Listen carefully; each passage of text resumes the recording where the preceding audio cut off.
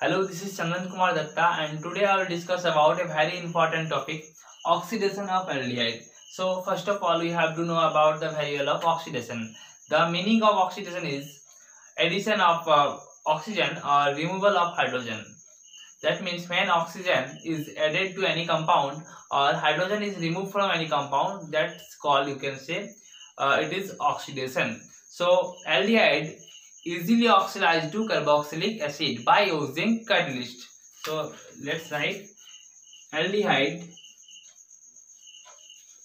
easily oxidized to carboxylic acid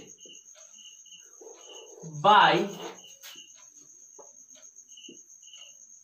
using catalyst. So here you can take a catalyst KMNO4 or K2Cr2O7 but two things is important. The medium of KMNO4 is here base B-A-S-I-C basis that means you can write here OH minus because OH minus represented or indicate ion base and the uh, medium of K2Cr2O7 is here acidic A-C-E-D-I-C acidic. That means you can write here H plus. H plus indicates I am acids. So uh, go for the example.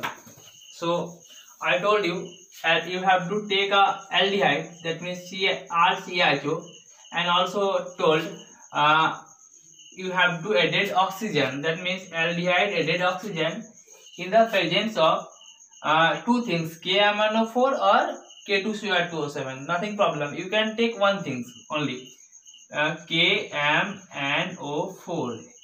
if you will take KMNO4 so the medium of KMNO4 is OH minus to form carboxylic acid. That means RCOOH. Here uh, it is a aldehyde. A-L-D-E-H-Y-D because this CHO group is attached in this carbon so it is aldehyde. And also it is a uh, carboxylic acid because this COOH group is attached in this carboxylic in this carbon chain. That is carboxylic acid so let's for the another example. So put the value of uh, r here. You can uh, put ch3 and you can edit cho group. Oxidized that means oxygen is added. In the in the presence of uh, you can take a K2Cr2O7 also and KMNO4 also. So take a KM and O4 OH minus.